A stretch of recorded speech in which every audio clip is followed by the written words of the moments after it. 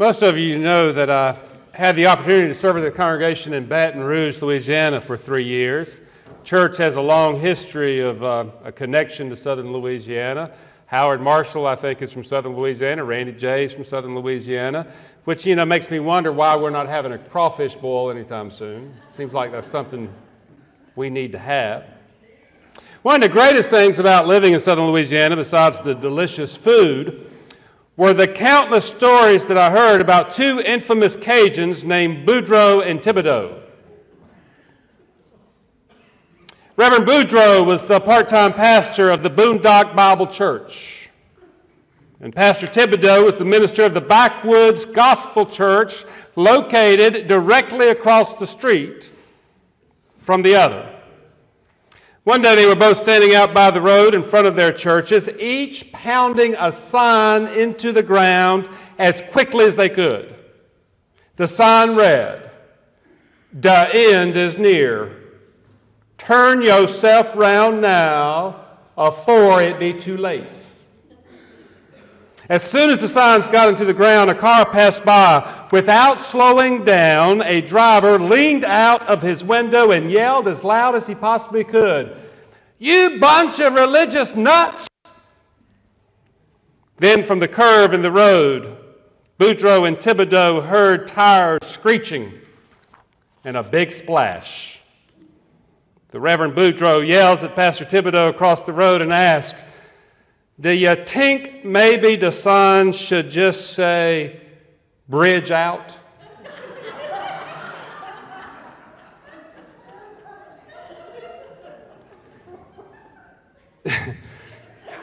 now, because I'm a seminary educated minister, y'all just now getting it, somebody. Because I'm a seminary educated of my ministry preaching from mainline city pulpits, I've always sought to differentiate myself from the so called religious nuts that are in our world. The repent or be sent, turn or burn, reach for the sky or fry, get saved or get microwaved. Style of preaching has never been a part of my repertoire. Thus, when I preach a passage of Scripture like our gospel lesson this morning, I've steered away from any interpretation that sounds like what Jesus might be actually saying here. The end is near. You better turn yourself round now before it be too late. For example, I've used this passage as a wonderful opportunity to have a deep theological discussion on the problem of evil, theodicy. I've said that here in this passage we have two basic types of evil being pointed out.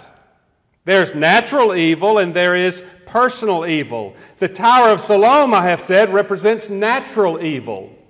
In this fragmented world, sometimes tornadoes and floods destroy property and sometimes take lives.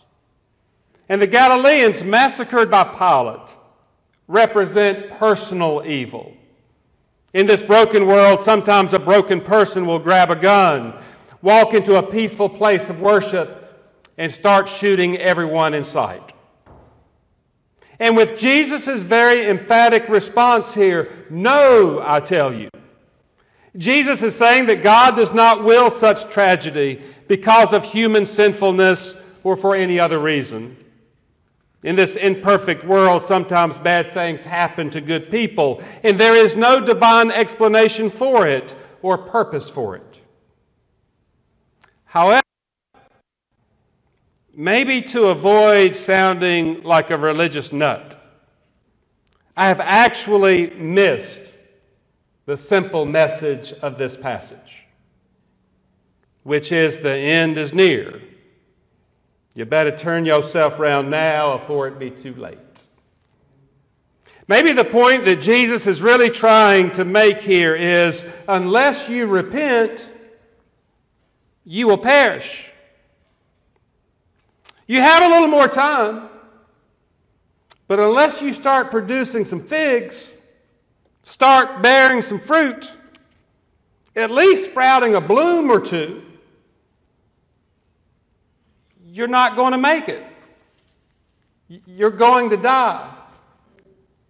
But Dr. Banks, that sounds too much like the hellfire brimstone sermons that those country backwood churches. And, and, you know, we moderate, mainline, sophisticated churches, we're way too smart for that. However, I've got this feeling here through the studying of this passage that Jesus is arguing that we might be too smart for our own good. Luke tells us that people had gathered together. And then they started doing what people do best when they gather together, even in the church. They began to gossip, especially about the sinfulness of those people, the sinfulness of others. Those people who had this tower tragically collapse upon them. Sadly, I believe this may be the only reason that some people go to church these days to hear about the sins of those other people, those who are not in the church. They go to church to feel good, to feel religious, superior, righteous. And Jesus is emphatic here. No, I tell you. It is as if he is saying, You better stop judging your, your neighbors and start looking at yourselves. Stop worrying about the speck that's in your neighbor's eyes and focus on that log that's in your eye. Look, bad things happen in this world. People die. It's not a matter of degrees of rightness or wrongness, sin or sainthood. Everyone dies. And one day, you're going to die. So you better repent. You better change. You better turn yourself around now before it be too late.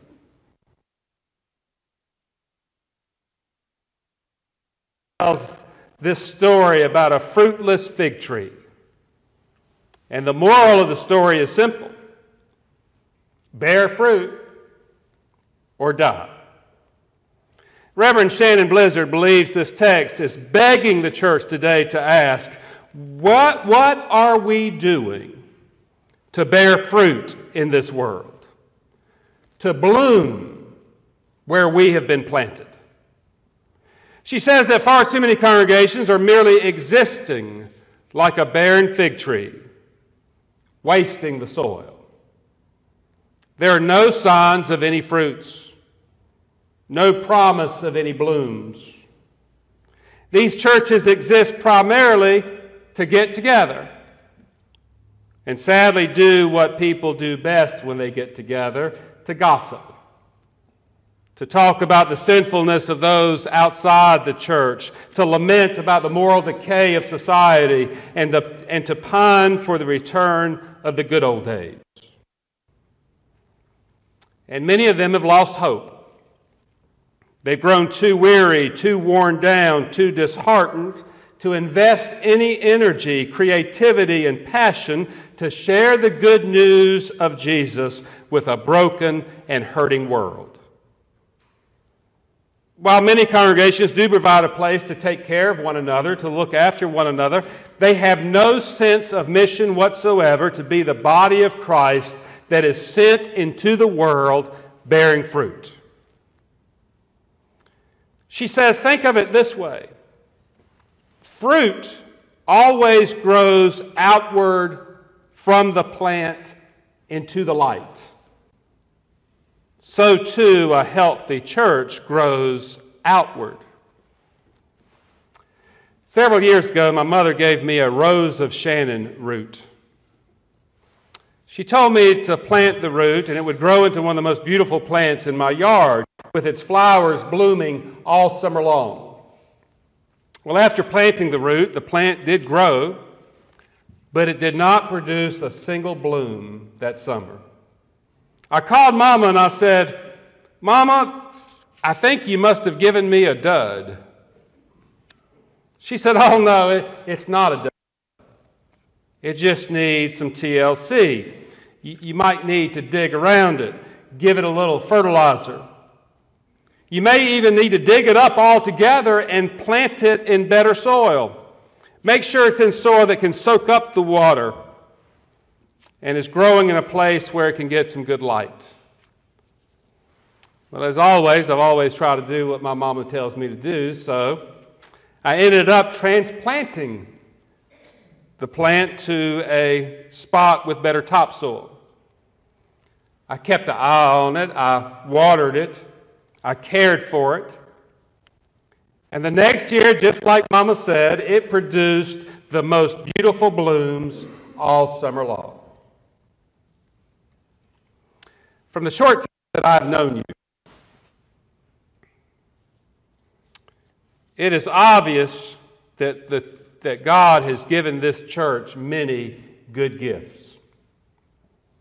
The talents and resources that you have, although you are small in size, are astounding. There's not a single dud in this room. And because of that, God expects us to be fruitful. God expects our church to bloom. I believe Jesus is asking us to take a lesson from the barren fig tree, to bloom and bear fruit. And to do that is going to require some work, some sacrifice.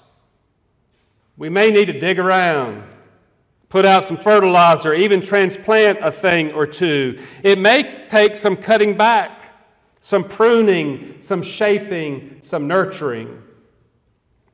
And that's scary. That's difficult. It's risky.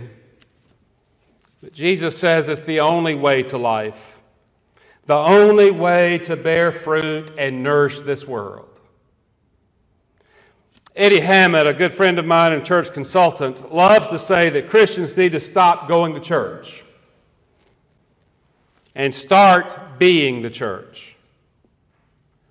I believe he's talking about the difference between a church that is inward focused, therefore barren, and a church that is outward focused, therefore bearing fruit in the world. Hammett writes Going to church is routine and easy. Being church in the world is challenging, difficult, and calls for prayerful intentionality. Going to church keeps us safe being the church makes us uncomfortable and challenges us to be salt, light, and leaven. Going to church is familiar. Being the people God as church is unfamiliar to many and overwhelming to most. But may we press on in the faith. As much as I may not want to sound like a countrified religious nut, from out in the boondocks somewhere and only speak articulate, sophisticated words that make us comfortable from this mainline pulpit in the middle of our city. Maybe what we really need to hear is that the time is coming. The day is approaching. As it was for that barren fig tree, there's going to be an accounting. What we really need to hear is that we must bear fruit as a church or die. What we really need to hear is the end is near, so you better turn yourself around now before it be too late. May we use the gifts that God has given us to press on in the faith Step up and out in our discipleship. Do the hard work of getting out the fertilizer and the shovel, doing some digging, getting our hands dirty if we have to, to produce something sweet in this community. For in the end, when our time on this earth is done, the world will be more or less kind, gentle, loving, joyous, peaceful, generous, and good because of our presence here. And we alone choose. There's a big world out there, a world that is thirsting and hungering for the love of God. May we go out and bloom, bearing fruit in the image of Christ. May we pray together.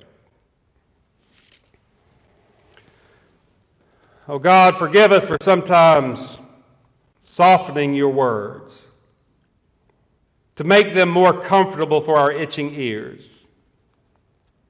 Grant us a spirit of selflessness where we are selfish, a spirit of courage where we are afraid, and a spirit of urgency where we are complacent.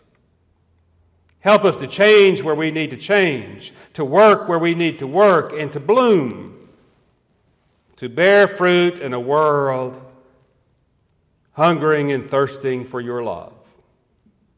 Amen.